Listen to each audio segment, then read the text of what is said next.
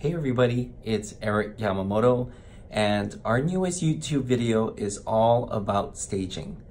Um, we wanted to put together a quick video showing the importance of staging and how it can truly transform a room. Now, Dennis and I always like staging. Um, we gather our couches, sofas, chairs, um, wall art, and lamps and put all of it together so that way the homes that we bring on the market show a lot better. So take a look at the video and enjoy. Thanks.